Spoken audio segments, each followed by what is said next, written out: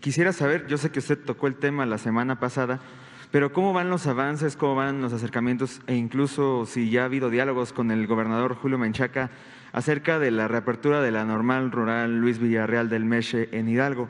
Es una prioridad.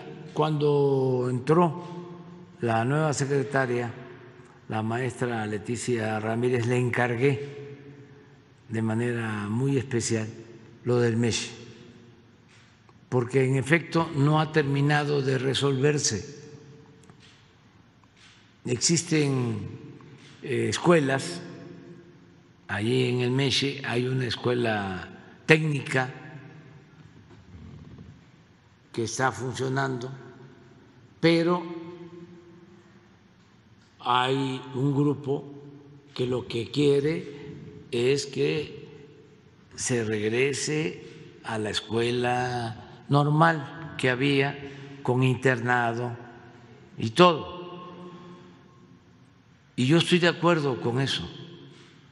Nada más que no se ha podido porque eh, no hay un acuerdo entre las partes. Entonces le encargué a Leticia Ramírez que se ocupara de este asunto. Y yo creo que pronto se va a resolver. Pronto.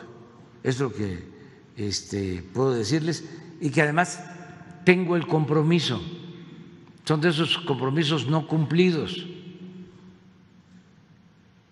que tengo pendientes y no me voy a ir del gobierno sin cumplir con esos compromisos. Pero esto lo ofrecí y no lo he podido este, concretar, llevar a cabo, por las diferencias gubernamentales y también en el magisterio y padres de familia y alumnos, pero tenemos que llegar a un acuerdo.